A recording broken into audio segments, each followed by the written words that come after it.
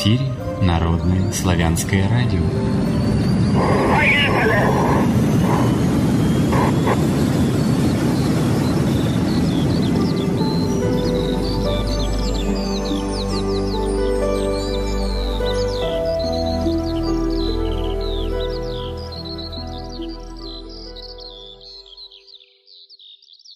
Всем здравия! С вами Народное славянское радио, Алексей Орлов. Сегодня у нас по одному из современных календарей 17 мая 2017 года, среда, по одному из старинных, 36-й день месяца пассива наречения, 7525 лета седмица. Мы начинаем живой эфир, который будет посвященный теме «Дрожите», страшная тема «Рептилоиды», враги или друзья. А вот задумал эту тему наш старый знакомый, наш старый приятель Андрей Александрович Тюняев. Здравия, Андрей Александрович. Здравия. Даже один рептилоид вот в эфир сейчас, наверное, проскочил своим звуком случайно. Может быть, они такие да. юркие, за всеми не усмотришь, за всеми не углядишь.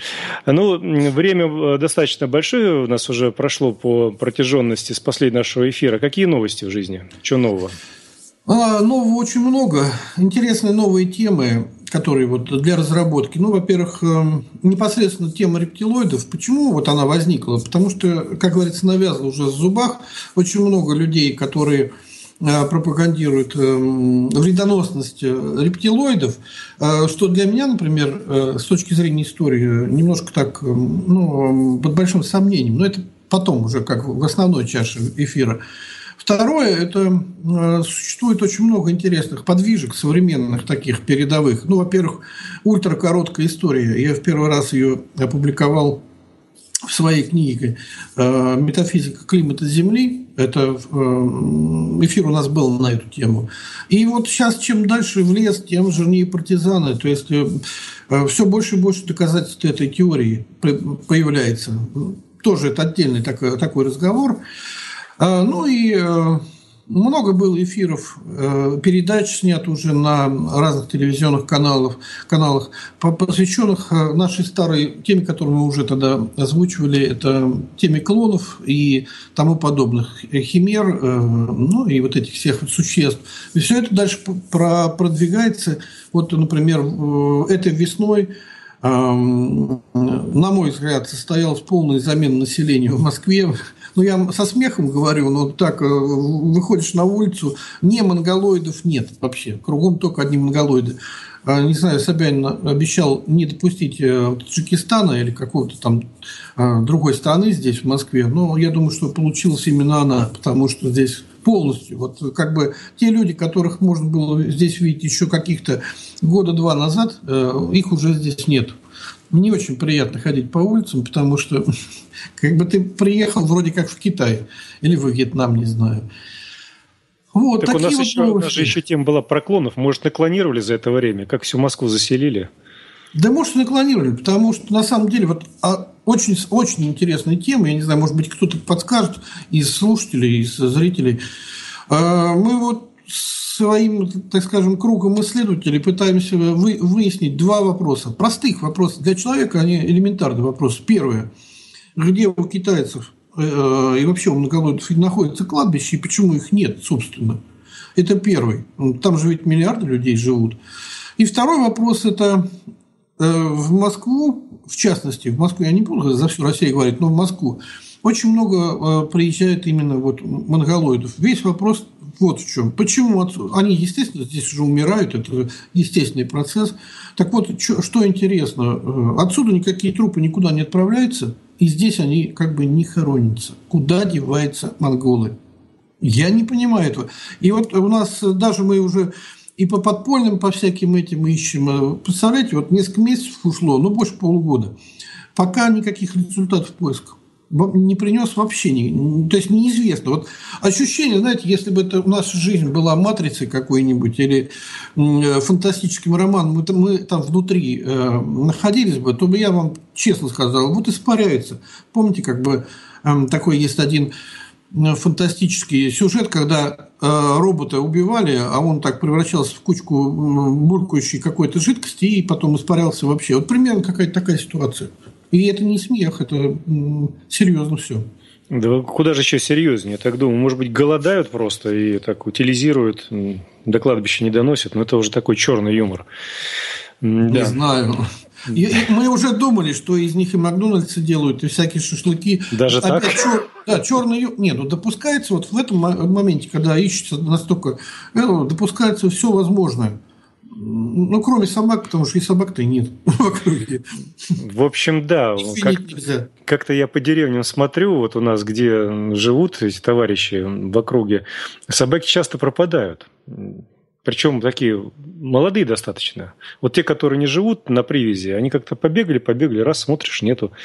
Кто-то начинает поговаривать, так это же вот тут у нас живут строители из Средней Азии, вот они там иногда кушают их на празднике, плов делают. Я так сначала думал, да не может быть. А теперь что-то как все чаще и чаще за своей собачкой приглядываю, чтобы не убегал без, без меня никуда.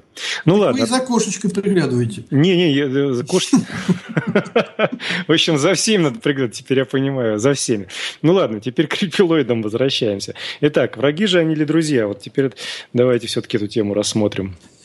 А вот эта тема очень интересная. На самом деле я наслушался за эти годы Дэвида Айка. Ну, хороший исследователь, очень такой э, прекрасный популяризатор. И вот у него тема, вы многие знают, кто ей этой темой интересуется. Его главная такая, одна из главных тем – это как раз рептилоиды, что вот они враги человечества и захватили всю цивилизацию. Ну, я, естественно, когда слушал его и, и других э, э, выступающих всегда, конечно, думал, что э, они, в общем-то, правильно говорят, наверное, поскольку исследовали этот вопрос, и э, ну, с каким-то уровнем доверия к их данным подходил. До тех пор, пока э, мои вот исследования по славянской цивилизации не дошли, не перемахнули какой-то рубеж. Ну вот я так очень издалека немножко штрихами напишу, обрисую ситуацию.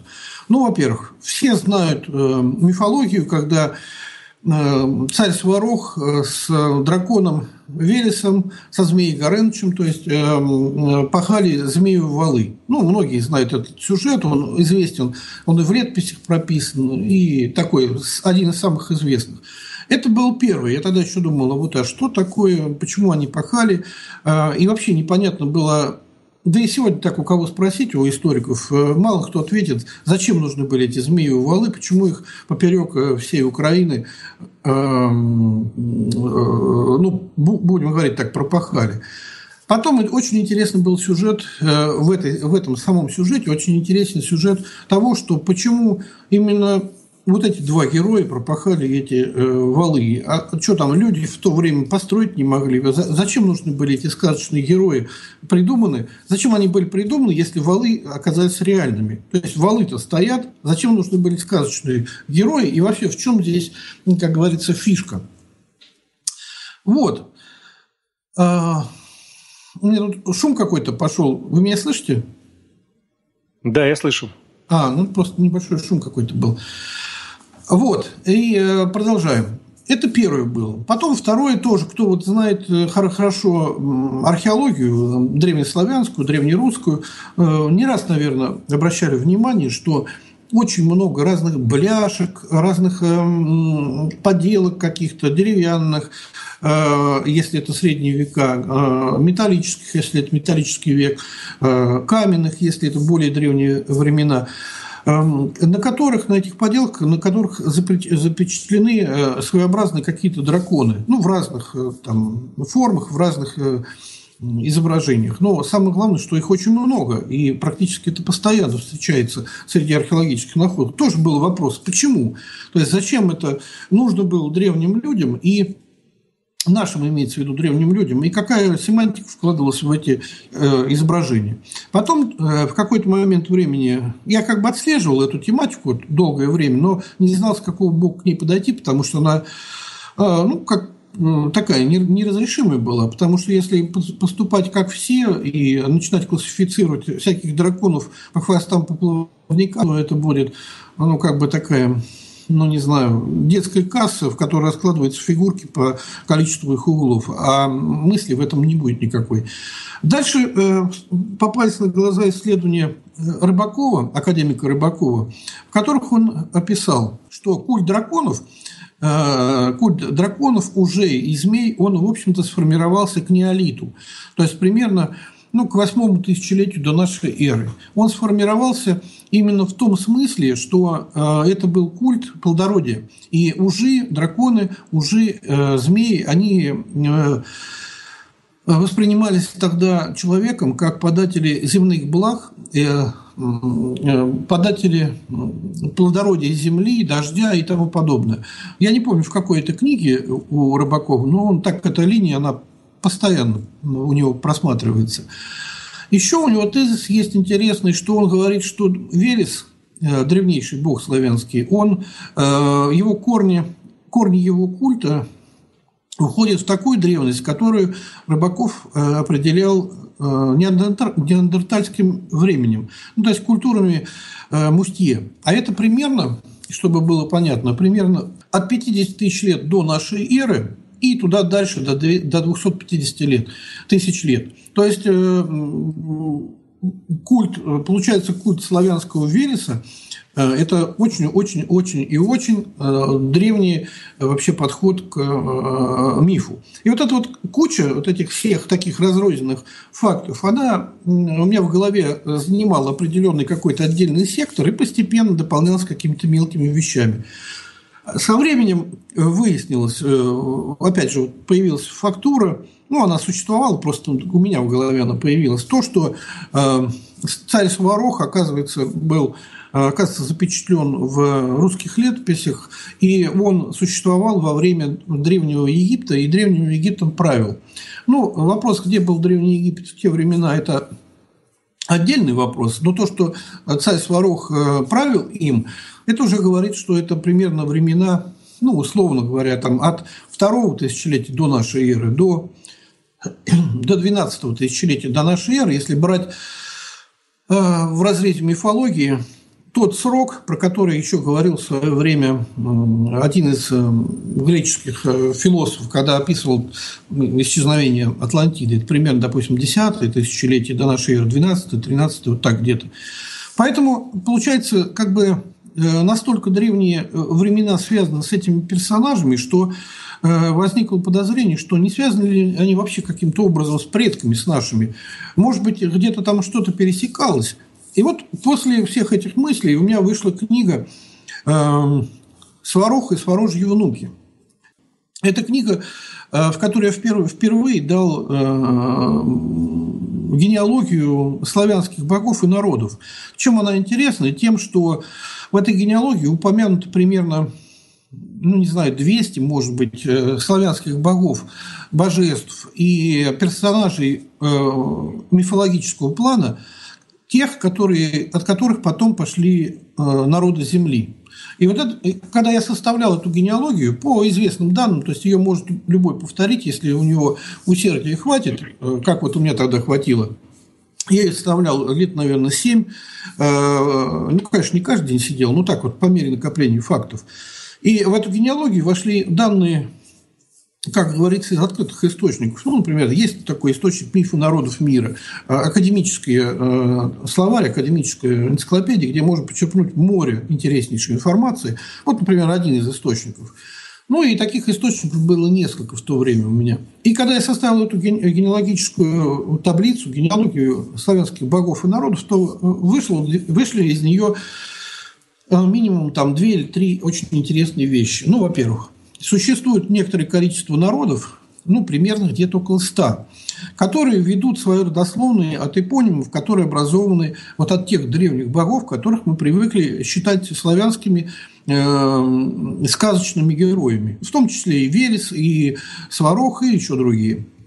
Это первое. Второе. Э, это генеалогическая э, таблица, она построена всего единственным образом, то есть ее невозможно поменять никаким образом. Там нельзя поменять э, никаких двух персонажей местами, потому что все настолько переплетено, что каждый из них стоит на своем месте. Меня это поразило с той стороны, что получается, что это доказывает достоверность самой системы, когда из нее нельзя... Э, ну вот представьте, например, детский конструктор, где ни одна деталь не повторяется – и говорят, соберите какое-то вот такое-то произведение. И вы в любом случае соберете именно то произведение, под которое было Эм, под которой были придуманы все эти детальки. То есть, если вы поменяете детали разными местами, у вас уже не получится весь, вся конструкция, которую вы собирали. Вот здесь такая же система. То есть, древнеславянская э, конструкция вроде мифологическая, предки вроде мифологические, но стоят они в исторической вот этой э, реальности очень жестко. Потом я проверил, ну, тогда же в той книге проверил, нашел метод, как проверить, насколько все это реально. Э, метод очень оказался, как говорится, вот как принято говорить, топорный, дубовый, но от этого он более достоверный. Метод вот какой. Берем любого персонажа сегодня, ну, такого значимого, например, там, Ломоносов. Есть персонаж, у него есть достижения. И его именем благодарное человечество, его потомков там, или, или друзей, доброжелателей называют его именем город Ломоносов. Берем, например, э, какой-нибудь там, ну не знаю, период войны, Жуков, назвали э, деревню, город его именем. Э, получ... Был, допустим, герой, назвали Сталинград, был герой Ленин, назвали Ленинград. То есть, ну, все понятно. То есть, как только появляется какой-то э, герой, который всколыхнет целую нацию или какой-то э, определенный э, пласт этой нации, то нация благодарная его имя запечатлевает в географических названиях. Вот как все происходит. То есть мы это привыкли, мы всегда это делаем, как вот, в общем-то, и сейчас. Был академик Сахаров, назвали улицы Сахарова, э, там проспект Сахарова. Все каждый день идет. А там получается очень интересно тогда проверка, что если у нас существовал, например, какой-то, вернее, если у нас существует какой-то топоним, то должен существовать э, под него герой, с которого назвали топоним. И наоборот, если есть герой, должен существовать топоним. Если топоним нет, а герой есть, то герой получается э, э, ну, выдуманный. А если ну, если, если топоним нет, героя нет, значит, нужно искать героя. В данном случае получилась как раз такая э, ситуация с проверкой э, всех вот этих славянских богов и славянских народов. Ну, во-первых, от каждого славянского бога есть определенный славянский народ – это меня сразу удивило, потому что, ну, удивило, и как бы это первый пласт доказательства, потому что э, в мифологии так принято, что у каждого э, исторического народа, исторического, подчеркиваю, обязательно должен быть топонимический э, предок. Если топонимического предка нет, то, то неправильный подход к названию народа, то есть мы какой-нибудь народ называем без топонимического предка, значит, мы неправильно его имя употребляем, этого народа, и народ в реальности называется по-другому.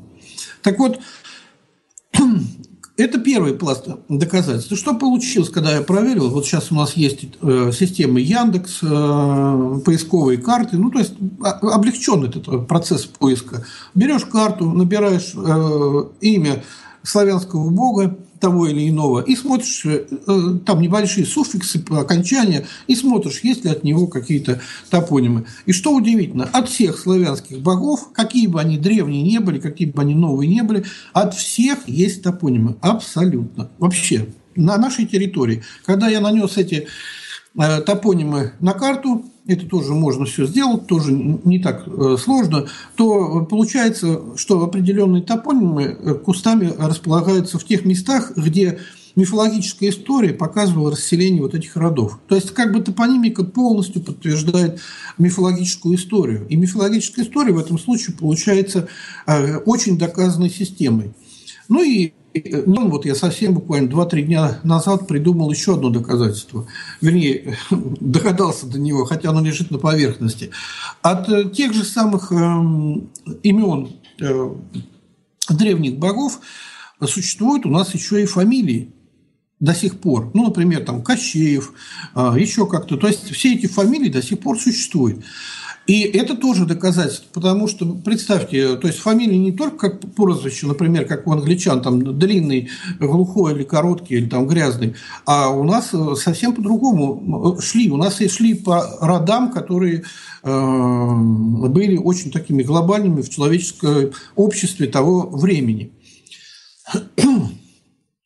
Э, если брать сопоставлять, то есть насколько эти доказательства являются э, доказательством, то, то здесь получается вот какая система. Если мы берем, например, современных э, альтернативных религиозных богов, ну то есть э, из тех религиозных систем, которые сегодня нам говорят, что это мировые религии, я ставлю их не то что в кавычки, а в километровые кавычки, потому что это, конечно, не мировые религии, это новоделы все. Так вот, от этих новоделов что если по, этому, по этой же системе поиска производить свои действия, то нет ни топонимов, нет ни фамилий. В последнее время только начали появляться фамилии типа Магомедов, э, ну, типа этого. А, например, у древних, у древних в кавычках иудеев до сих пор нет фамилии Яхвин. То есть такой фамилии даже не существует. Ну, может, есть там и Игудин какая-нибудь так, такого плана. То есть а понимаете, от, а, от, то, что от их, от их э, вот этих героев, э, от библейских героев, например, от Иисуса Навина, там, от каких-то еще, там, от Исааков, от них совершенно нет никаких топонимов. Это значит то, что то, что мы называли древнерусской или древними славянскими сказками, это на самом деле является реальной историей. А то, что мы называли реальной библейской историей, это называется библейскими сказками. Вот какой, э, какие главные выводы из э, первого моего, так скажем, подхода э, к штанге под названием рептилоиды. Вот. Дальше исследования мои продолжились, потому что интересная тема. Я прям почувствовал, что где-то я попал на какую-то золотую жилку, которая может привести к какому-то интересному открытию. И так постепенно оно вот проходило, проходило, проходило, и вылилось вот новую книгу, которая, представляете, вот по такому интересному э, э, как вот, стечению обстоятельств, э, сегодня как раз и привезли ее вот первый тираж, что я показываю. Видно, наверное, да? Видно, видно. Да, видно. Вот называется эта книга «Власть во власти власти».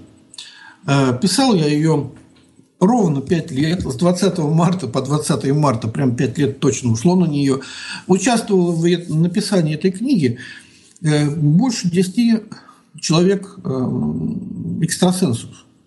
Я даже там написал благодарность им, потому что многие факты, которые касаются Земли, устройства Земли, устройства э, тех вот существ, которые живут на Земле, которые э, участвуют в ну, в наших пространствах, в жизнедеятельности, много приходилось э, проверять, перепроверять и э, доисследовать с помощью экстрасенсорных практик и, и э, каких-то выводов, ну, таких перекрестных. Я, например, одному экстрасенсу задавал один вопрос, он мне давал какой-то результат, а у второго экстрасенса, который с первым не был даже знаком, я задавал ему вопрос, посмотри, правильно ли мне ответили. И второй экстрасенс рассказывал то, что мне ответил первый, слово в слово повторяя. И меня всегда это удивляло, то есть как вот люди обладают такими э, способностями, когда не зная того, кто что того, кто мне говорил и что он мне говорил, повторять могут прям слово в слово. И это, конечно, ну, определенный метод добычи информации, когда других альтернативных методов э, нет. И вот по этим методам, э, по всем комплексам, начиная от археологии и заканчивая экстрасенсорикой, построена вот эта книга. В ней тоже поднимается э, уже такая практическая часть э, того вопроса, который называется рептилоидами. И э, здесь описывается их конкретное участие в нашей жизни на Земле, то есть конкретно, что они делают. Вот, а теперь я непосредственно к, к, к теме уже не от, не от того, как я к ней шел, а уже конкретно, как, бы, как говорится, с головы начну ее рассказывать. Смысл этой темы вот в чем – Обращаемся так, чтобы во второй половине нашего э, человечества, то есть те, кто является не славянами, а, а библеистами, чтобы им было понятно, чтобы на их языке разговаривать, вот обращаемся к первоисточнику с их точки зрения.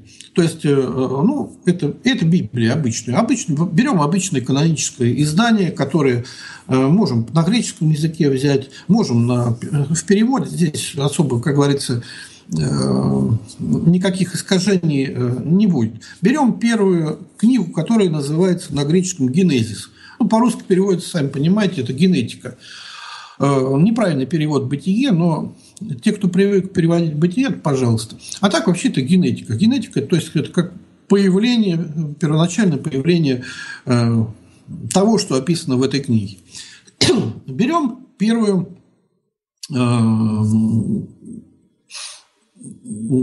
первую, как говорится, главу этой книги и начинаем ее просто, как говорится, тупо читать.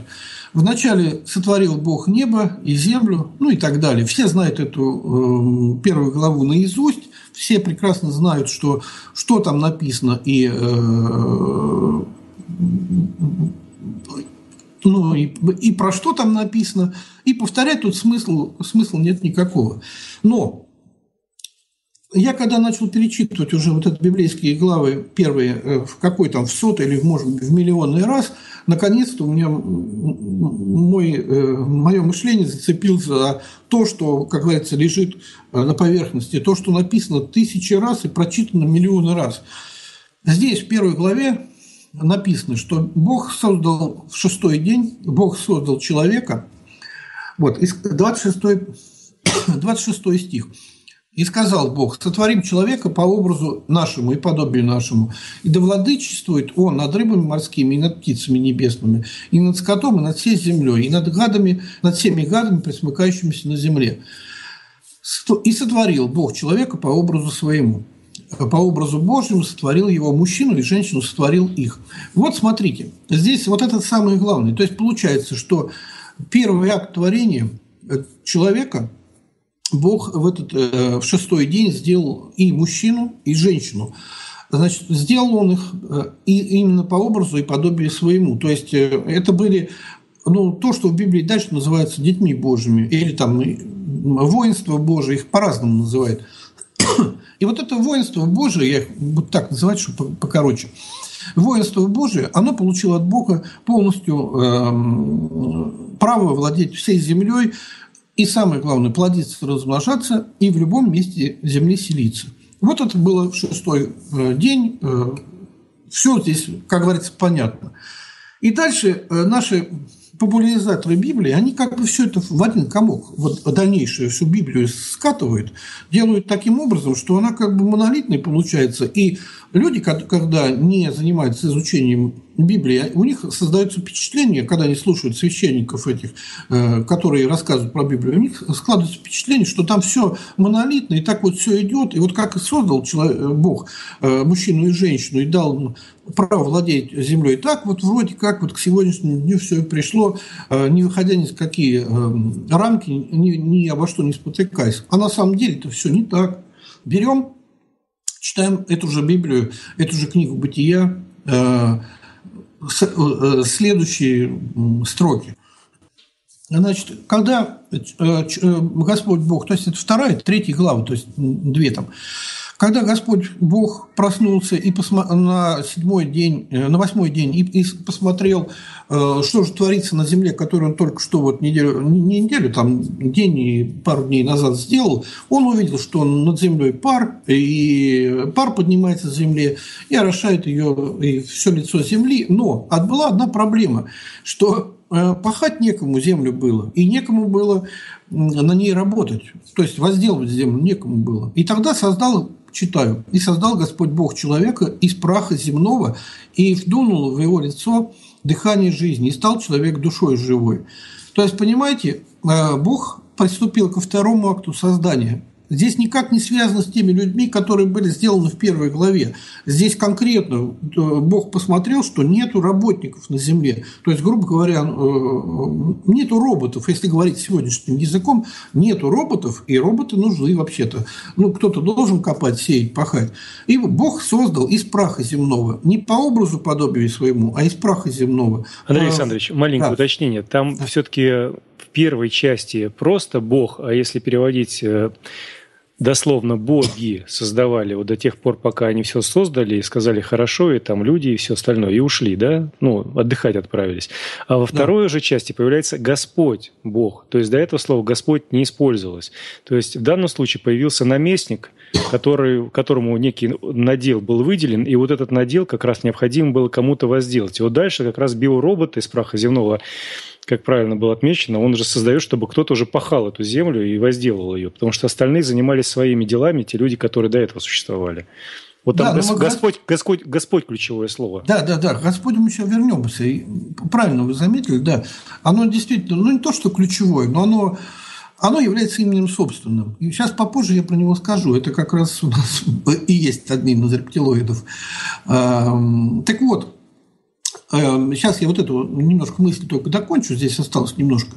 И э, смысл вот в чем. То есть получается, что у нас в результате э, библейского творения получилось э, два потока существ. Первое – это дети Бога, которые сделаны по образу и подобию Божьему. И вторые – это роботы, которых сделал некий другой или тот же самый Бог, или его наместник, которые никакого отношения к, божеств, к божествам не имеют, которые сделаны из как некого праха земного, то есть либо это глина, либо просто это хаос, либо это ну, какой-то набор элементов любых, как вот, например, делаем на сегодня роботов, ну, набор каких-то болтиков, гаечек и тому подобных э, микросхем, может быть. Вот. А то, что он оживился, так мы сейчас тоже, когда делаем, например, станки здесь с ЧПУ, с числовым программным управлением, тоже, когда сначала их Э, этими напильниками, по ним елозил, они тоже как бы не живые. Но как только в розетку вставил вилку, вроде и станок ожил, он начал уже исполнять команды. То есть, в общем-то, можно говорить, что мы в него вдун, в, э, в, вдохнули э, дыхание жизни, и он стал типа, почти да, душой живой. Так вот, это самое главное. Вот начинается Библия как раз с этого момента. То есть, когда получается, что э, э, э, вот народы вот эти, которые сегодня обитают, они были созданы двумя путями. А я все да как, когда вот это я прочел, когда это я осознал, я наконец нашел отгадку для себя. Я никак не мог понять раньше, почему у всех славянских народов и соседних с ними народов существуют сказки, но никогда не было никакой религии. Вообще никогда. А например, если берем библейских народов, там обратная ситуация. У них никогда не было никаких сказок, но всегда было, были какие-то мировые религии. Вот это было никак непонятно. То есть, с одной стороны, мировые сказки, но мировые имеется в виду распространенные на весь мир, а, и отсутствие религии. А с другой стороны, мировые религии, отсутствие сказок. Было никак непонятно, почему именно такая система образовалась почему она двоичная, почему она антагоничная друг другу, и почему она, собственно, вообще существует? Где здесь э, первоисточник? То есть, кто прав? Те, кто владеет сказками или те, кто владеет э, мировыми религиями? Так вот, дальше мы начинаем разбираться. У нас теперь есть два э, определения для человечества в русском языке. Одно слово определяет человек, то есть ну звучит как слово человек, и второе слово звучит слово люди. Мы привыкли сегодня использовать эти два слова одинаково, как синонимы, и ими друг друга замечать.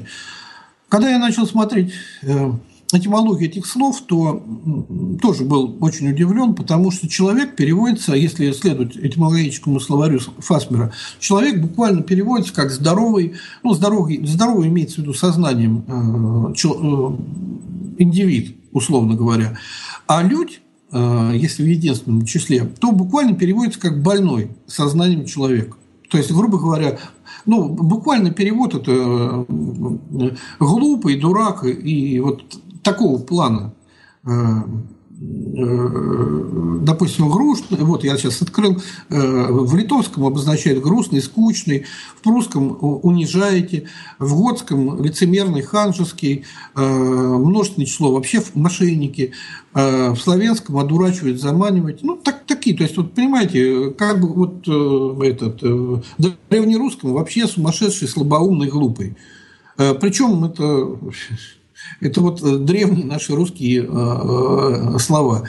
И тут, опять же, как говорится, еще дополнительно встало все на свои места. То есть, если, например, люди, те, которые делают роботов, как они будут к роботам относиться? Ну, в любом случае, как бы, ну, как вот у нас, подумайте, вот как, мы, как каждый из нас относится к роботам. Ну, конечно, не так, как к себе, к равному, а с неким таким ну, считает, по крайней мере, роботов все равно более глупыми, и даже если они могут таблицу умножений и пи посчитать до миллиардного знака, то все равно э, они как бы более глупые, потому что не хватает вот той, того человеческого интеллекта, который и делает из человека человека. И вот э, по моей концепции, я не знаю, как, насколько она правильна, но я думаю, что она правильна, потому что я ее проверял там лет 15 уже, если все в совокупности взять. Получается, что опираясь на Библию, и не выходя даже за ее данные, подтверждая их все-таки археологическими, мифологическими данными и другими, получается, что в какое-то время, по дате, конечно, мы говорить не будем, э, но в какое-то время э, цивилизация была создана таким образом. Сначала появились некие персонажи, которых мы сегодня считаем э, богами, славянскими богами, русскими богами, может быть, языческими богами, то есть библейскими богами, но это были боги. Кто, вот в каком количестве это вопрос уже другой. То есть сначала появились какие-то боги.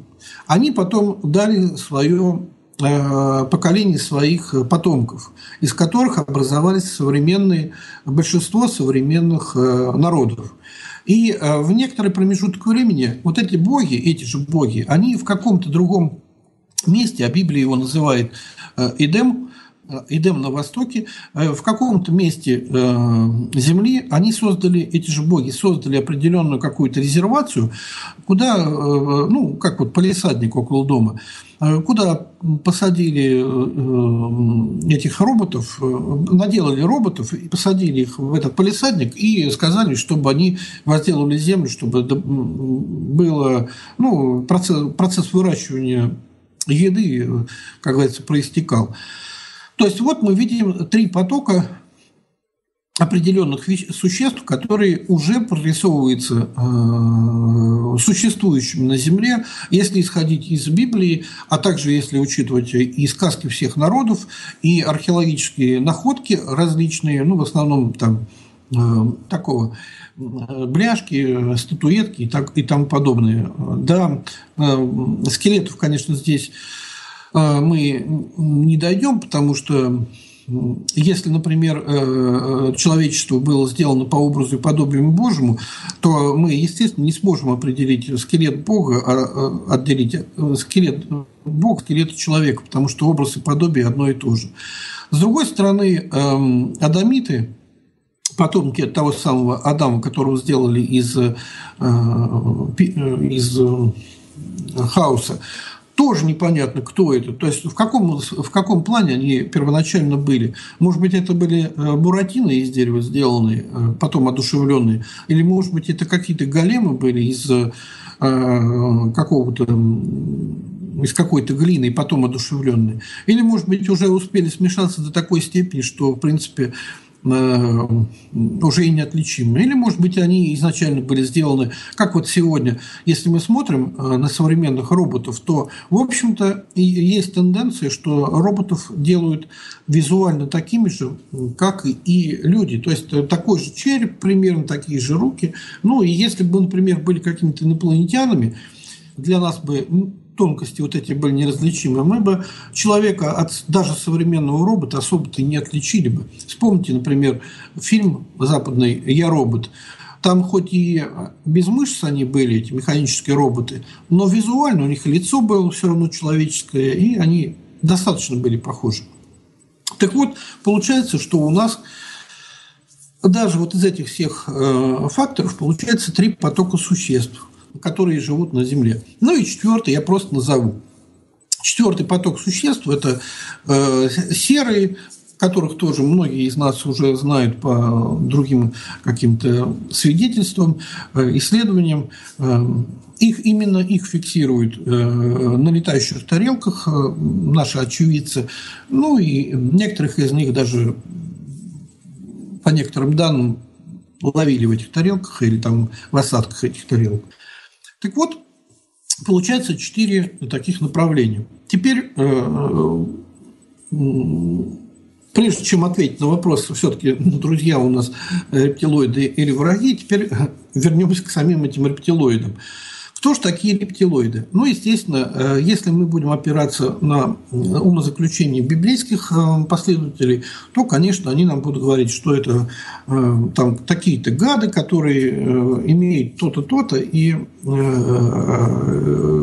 делают то-то, то-то.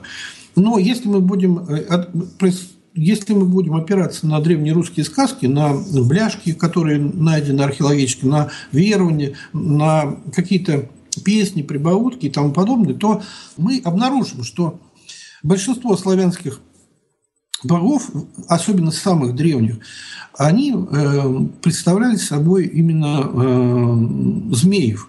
Ну, сейчас на, на нашем языке это рептилоиды. Вот если берем Велеса, например, то Велес – это был дракон Велеса, дракон, дракон или змей, он буквально сегодня, его изображения до нас сегодня дошли. Это тот змей, который кусает свой хвост. Ну, некоторые его называют масонским символом, хотя это неправильно, потому что он не является масонским символом. Это масоны взяли себе символ времени, который а, ну, под свои нужды приспособили.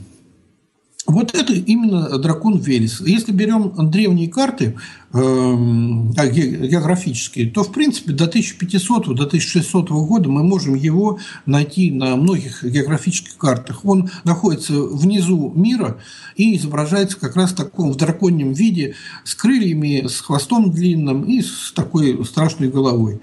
Дальше. У дракона Велеса э, была супруга, Баба Яга, та, которую мы э, теперь, благодаря некоторым библейским э, режиссером рису, и сказочником рисуем в какой-то ступе с каким-то бесконечно израильским носом и с костяной ногой. На самом деле это была молодая богиня, э, которая Э, являлась супругой Велесу.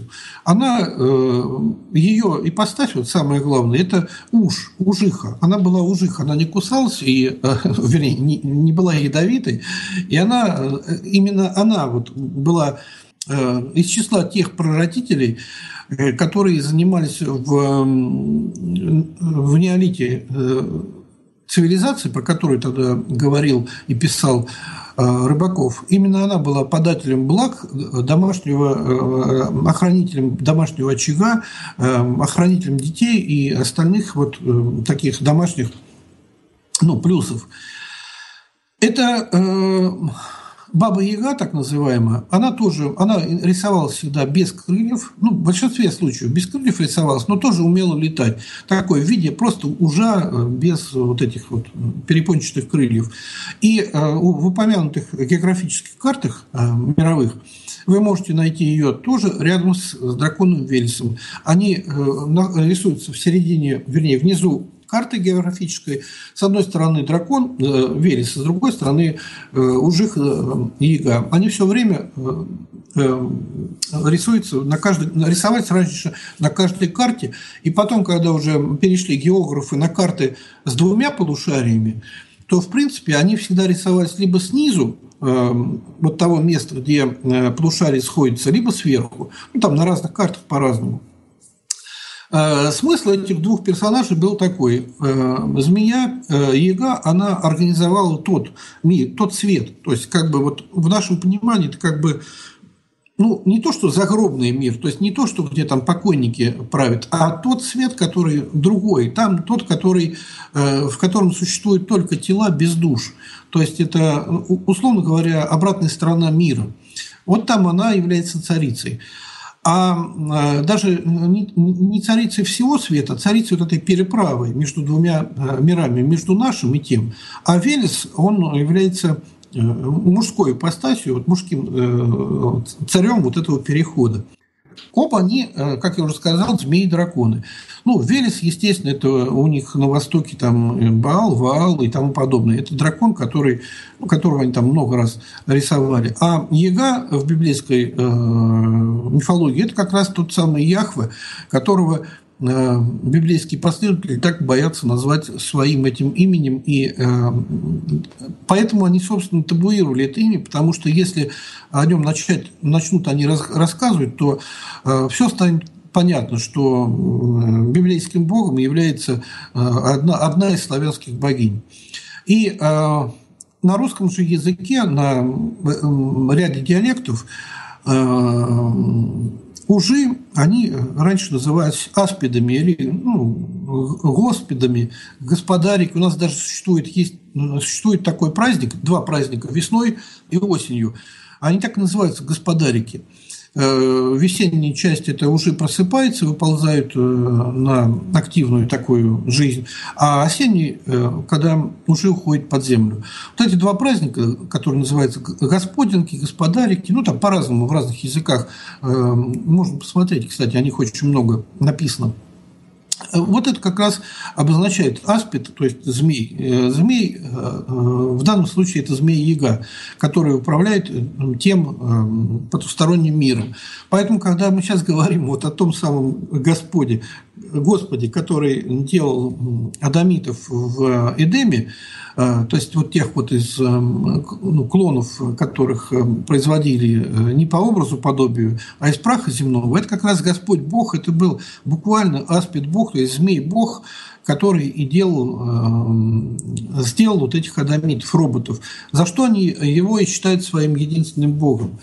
Э, он для них своего рода такой ну, как бы прародитель их, их народов. Нельзя сказать, что это между ними есть какая-то генетическая связь, ее нету. Но он у них получается как изготовитель, то есть начальник участка или там владелец завода, на который выпускают адамитов. Вот, вот такая у них связь. Ну и он у них, естественно, самый главный и единственный. И вот на этом э, змее Велесе как раз Сварог пропахал эти змеевые валы. Причем эти змеевые валы, про которые я вначале сказал, это и была та граница, которая, которая разделяла два мира. Мир роботов, э, людей, и мир э, человеков.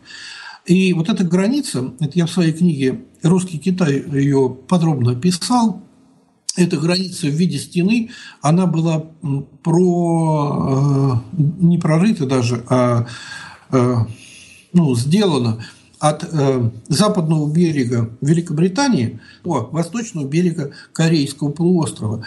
То есть, представляете, через всю Евразию, я не знаю, сколько там тысяч километров, 14, по-моему, сейчас или 12 тысяч километров была проведена, и сегодня, в наши дни, она остается Э, крепостная стена, сколько там на ней этих башен, даже не представить не могу. И сколько было положено труда, тоже в голове не укладывается, потому что э, даже сегодня такой проект, чтобы это все построить, он невозможен.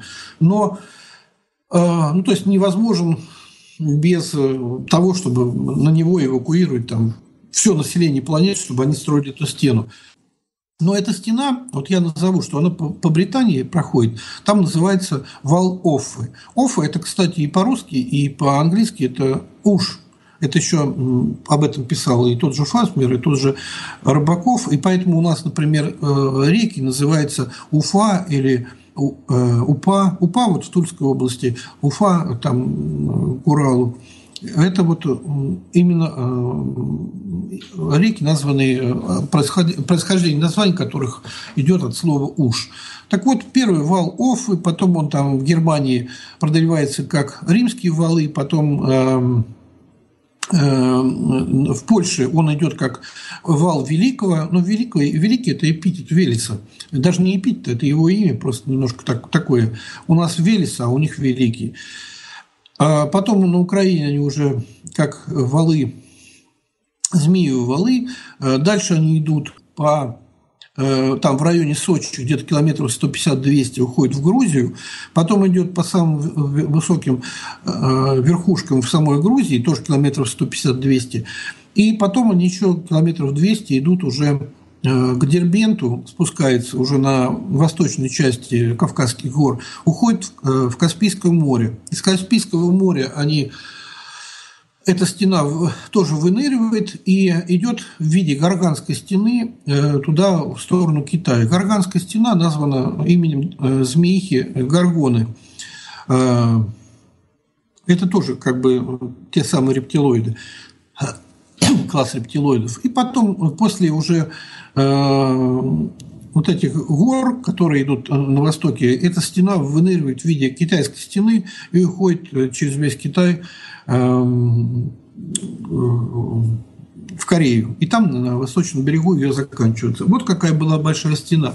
И она была построена специально, чтобы разделить э, два потока э, существ, чтобы к северу жили свободно человеки, и то есть те, кто был по образу и подобию, сделан по образу и подобию Божьему, и с юга жили те самые роботы, э, адамиты, которые были э, созданы э, Господом Богом для того, чтобы сеять, пахать и возделывать землю. Теперь, если вспомним ту же самую Библию, уже следующие главы, где описывается поход вот первого Иисуса, Иисуса Навина, то есть Иисуса, который из Нави, а это вот как раз ну, тот новый мир, по-русски это, грубо говоря, Новгород – то есть новый мир, ну, потустороннее э, царство. Так вот, Иисус Навин – это тот как раз персонаж, который впервые вышел из Эдема, э, когда Бог уже прогнал их из Эдема, и э, начал завоевывать тот самый мир, в котором жили человеки.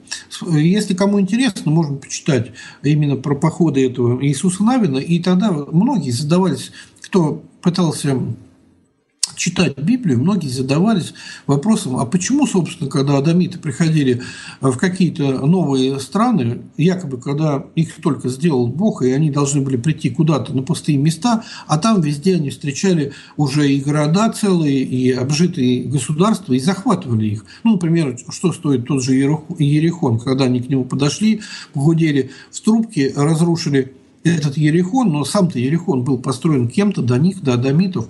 То есть всегда у людей, которые читали с, с этого места э, Библию, всегда возникали вопросы. Интересно, а кто же был вот теми строителями? Так вот, строителями были как раз те человеки, которых создал Бог в шестой день. То есть это были дети Божьи, построены, э, сделанные по образу и подобию Божьему. Так что вот это э, первоначальное разделение на две цивилизации, человеческую и людскую, оно существовало с самых э, начальных времен и существует до сих пор. И сегодня мы живем э, в ту эпоху, когда э, людская, э, людская цивилизация перешагнула эти, эту запретную стену и перешла на нашу территорию и завоевывать страну за страной. Это так называемые беженцы с Ближнего Востока, там, с других Востоков. Вот это как раз и происходит сегодня. Такое, знаете, Э, ремейк похода Иисуса Навина, он опять идет на наши страны, и опять его здесь э, некие проститутки открывают двери. Ну, допустим, вот открыли двери ему э, этому библейскому захватническому стаду Ангела Меркель там в Европе, ну и все остальные, как говорится. Все вы их прекрасно знаете, тут даже перечислять нечего. Так вот, теперь берем эту границу, Э, и еще вот, сейчас э, прежде этого я еще скажу все-таки несколько рептилоидов, так скажем, назову. А если, ну, всех перечислять здесь долго, а вот нескольких я назову. Первые, которые рептилоиды, э, славянские боги, тире славянские боги, перешли в южном направлении и начали завоевывать, обживать другие страны, это был как раз вот самый первый род – это род Иги, Баба Яги. Вот она как раз пошла на юг и на восток самая первая. Поэтому все, абсолютно все сказки э, у южных и восточных народов, они самые глубокие, самые древние сказки, они если они есть э, или какие-то предания, то они обращаются именно к, к Бабе Яге. Только там, конечно, название у нее изменено. Она уже у нас не, э, там на юге не Егой называется, а э, другим именем. Яжи, Ажи. В большинстве, например, Ажи в других местах она называется Аджи Дахака. Ну, Дахака – это как бы мощный.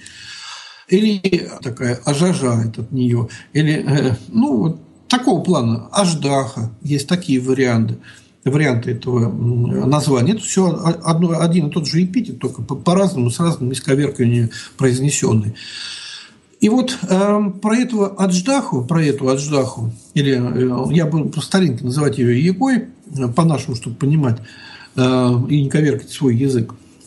Вот в большинстве случаев именно тем самым рептилоидом, которого, как говорится, э, надо ненавидеть по версии библеистов, э, именно ее называют рептилоидами. И если брать эту стену, про которую я сказал, то все, без исключения, южные народы, которые живут к югу от этой стены, все считают ее рептилоидом со знаком минус.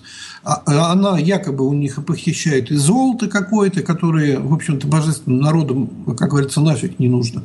И, э, и еще там что-то у них, ну, в основном она как, как бы богатство у них крадет. Вот вспомните шумерский этот миф, они тоже находятся к югу от этой, Шумер находится к югу от этой стены. И вот все тот же Дэвид Тайк все время повторяет, что вот эти анунаки, анунаки это как раз и есть э, славянские боги, они якобы у них все время э, таскали это золото, которое им позарез было нужно, якобы. А золото на самом деле никому никогда не нужно было, кроме вот сегодняшних времен. А до сегодняшних времен золото вообще не нужно было. Впервые официальная добыча золота началась в 1758 году. Я могу там на год-два ошибаться, но это вот именно это время. До этого времени э, цари э, и всякие императоры, они даже не задумывались о том, чтобы этот металл нужно э, добывать в промышленных государственных масштабах. Это можете посмотреть в энциклопедиях, можете в справочник посмотреть, кому интересно, чтобы перепроверить. Можете просто взять в Википедию, там все это написано. Дата имеется в виду. Так вот, смысл эксплуатировать какой-то там библейский народ ради того, чтобы заставить его э, добывать какое-то золото, которое никому никогда не нужно было, то это все сказки. Но на самом деле золото вот в последние э, века оно потребовалось для какой цели-то? Все, всегда мы думаем, что якобы оно существует для того, чтобы э, из него делали э, богатство. И потом уже вот это богатство передавали э, как э, систему накопления своим родам. На самом деле судьба золота совсем другая. Золото является, как многие технари знают, золото является наилучшим э, металлом для оформления контактов, чтобы был лучший контакт, не окислялся и тому подобное. И вот при производстве как раз вот этих э, клонов, которые живут у нас ну, по-библейски адамитов, э, как раз нужны были большие, самые большие, ну, огромные запасы золота. И золото их заставляет добывать для того, чтобы делать из них же, и создавать их же армии потом для завоевания мира. Но это потом дальней, дальше я скажу. Вернемся к анунакам. Вот анунаки как раз это и были славянские боги, э, которых, в общем-то, и изображали правильно и в виде змей, и в виде там, определенных существ с крыльями и тому подобное. А те э, шумеры, которых нам сегодня преподносят, что они были якобы прародителями цивилизации, это и были те самые э, э, биороботы, которых потом сделали в Библии, наделал Господь. Еще раз скажу, что э, вот особенно любителям Шумера, просто посмотрите э, археологические данные, просто убедитесь, что в Шумере никогда не было никакой цивилизации, и просто вот глупо говорить даже и, и повторять эту мантру, что якобы там был э, источник цивилизации Земли. Так вот, дальше, если по, этому, по Аджидахаке, по Бабе Яке дальше идти, то она, в общем-то, у всех э, народов, которые к югу. И что интересно, вот смотрите, если, например, берем э, эту линию, она, где она проходила по Северной Индии, то э, к югу от этой Индии располагалась, располагалась сама Индия непосредственно с негроидным населением и монголоидным, а к северу от этой Индии находился э, Пакистан, вот сегодня Пакистан. И вот Пакистан, ой, вернее, не Пакистан, а этот Афганистан – и вот что интересно, но сегодняшние даже а, э, роды, именитые роды Афганистана, то есть тех, тех, кто там правит этим Афганистаном по сотни лет, и э, те, кто ведет свою родословную, они все ведут свои родословные именно от этой бабы Яги. Она у них называется Аджидахак, там, э, либо что-то типа этого. Я сейчас могу там перепутать, перепутать не только суффикс или окончание, но вот само название, что это аджи или ажи, это сто процентов. То есть все э, афганские роды ведут свое происхождение от э, Бабы Яги, от той как раз, которая и первая создавала вот эту цивилизацию клонов, роботов, адамитов. А на Западе, например, тоже для примера, это же э, Баба Яга называется другим словом. Это кельтское слово «Езус». А, ну, у нас, если это «уж», то у них «ез». «Юз». Сегодня, кстати, в английском языке это «юз». «Юз». Ну, у нас уши, у них юз, это тонкости произношения.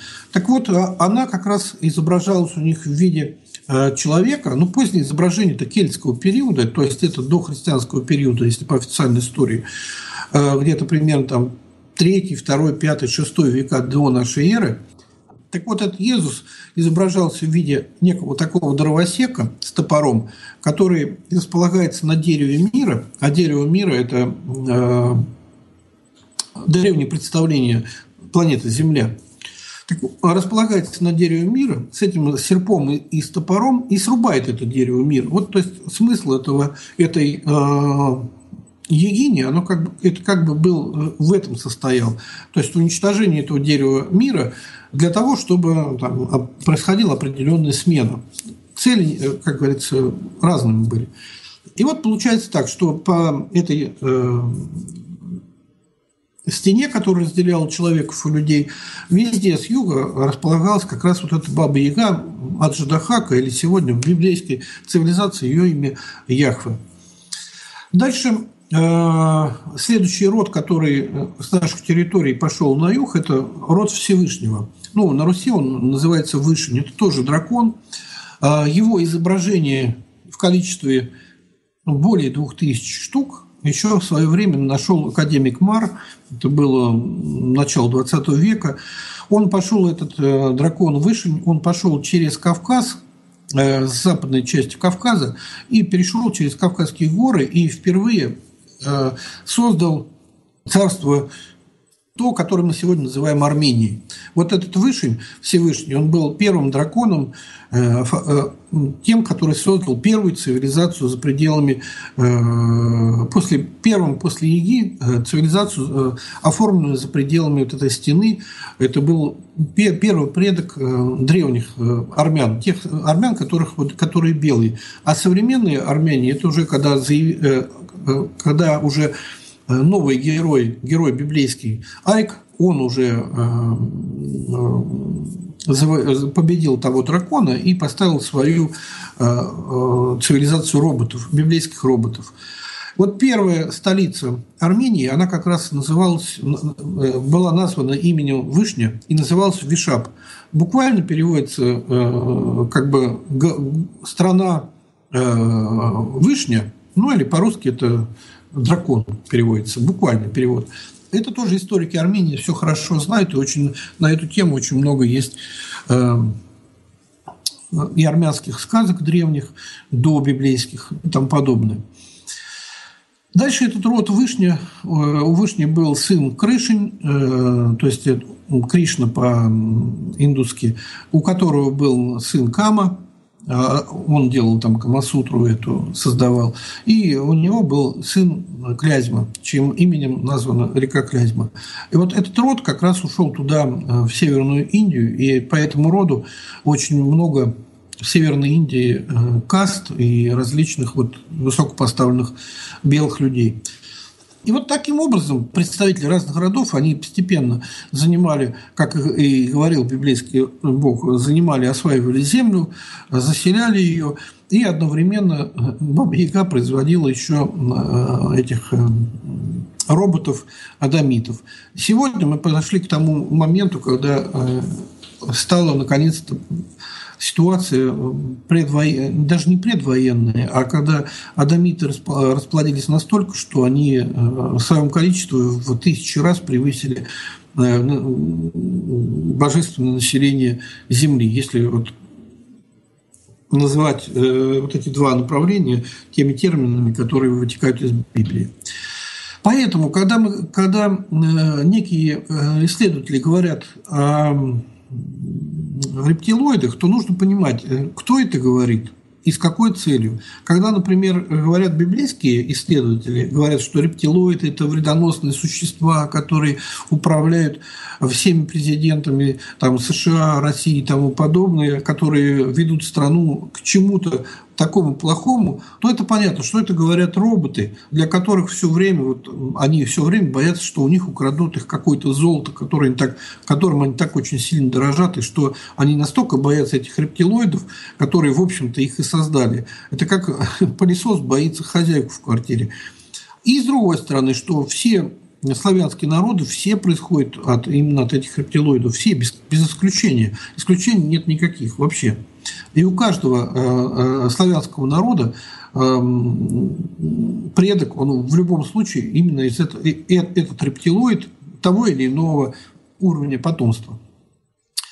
Поэтому рептилоиды, которые сегодня правят миром, они действительно правят миром, это на самом деле хозяева мира.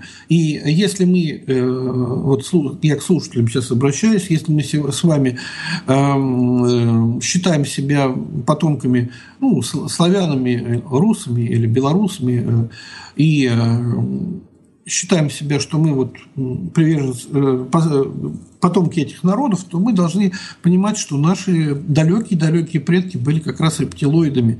Они не были библейскими э, роботами или там биороботами или рабами.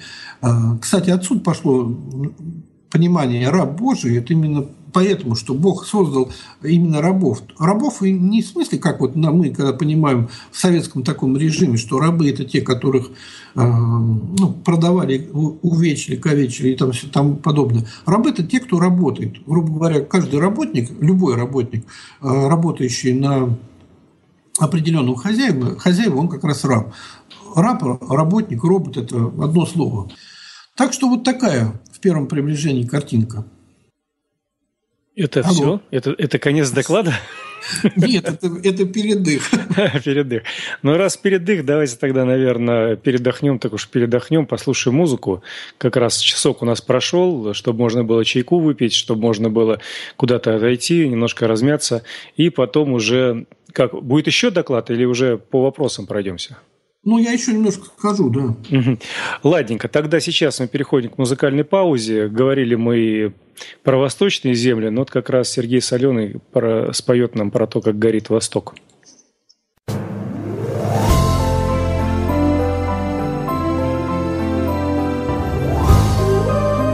Народное славянское радио для пытливых умов. Продолжение слушайте в следующей части.